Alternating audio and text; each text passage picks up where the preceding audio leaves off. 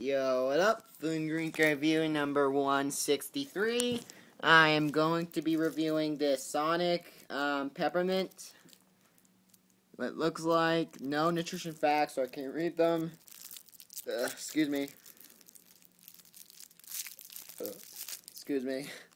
Um, here's what it looks like. Nice red stripes. Go up into a ball like this. See, it goes up into like a ball. And nice white filling in the middle. Smells usually like like usual peppermints, kind of. Smells like your usual peppermints. Kind of hard to explain though. Sorry if that's off topic. Anyways, let's give this a taste, shall we?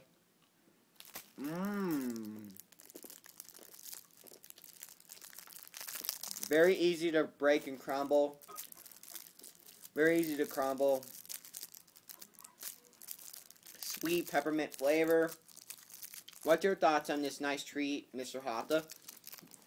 It's a beautiful circular, Mm. beautiful hard piece of Mhm. candy. It's basically a sugar, basically sugary goodness in the shape of a circle, Right? and it's got beautiful red marks on it to, to give it a more appealing look to its customers. And the red marks to give it this distinct look of a peppermint, almost. And it does, they are, it's very cool that one can get the Sonic. Yep, and it's very cool how it's so easy to crumble.